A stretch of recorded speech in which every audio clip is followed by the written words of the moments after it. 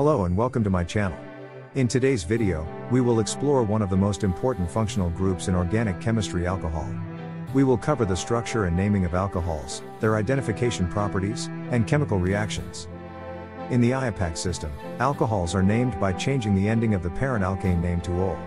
Alcohols are classified according to the number of carbon atoms attached to the carbon atom that is attached to the O group. Alcohols are organic compounds that contain a hydroxyl group, O, bonded to a carbon atom. They can be classified as primary, secondary, or tertiary depending on the number of carbon atoms bonded to the carbon atom with the hydroxyl group. Let's take a look at some examples.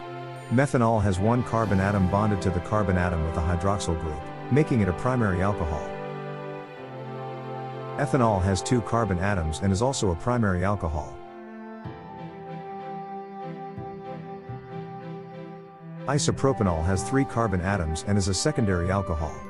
Finally, butanol has four carbon atoms and is a tertiary alcohol.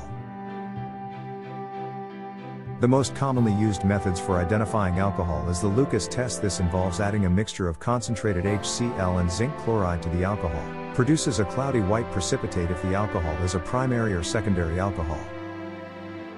Alcohols have several important properties that make useful in organic chemistry, they have relatively high boiling points and are often used as solvents in reactions. They can also be used as nucleophiles in substitution reactions and as reducing agent.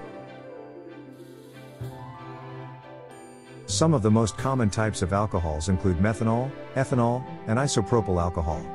These alcohols are widely used in industry and in everyday life, from cleaning solutions to fuel additives. And that's a wrap for our discussion on alcohol as a functional group in organic chemistry. We cover the structure and naming of alcohols, their identification and chemical reactions. Thanks for watching, and don't forget to like and then subscribe.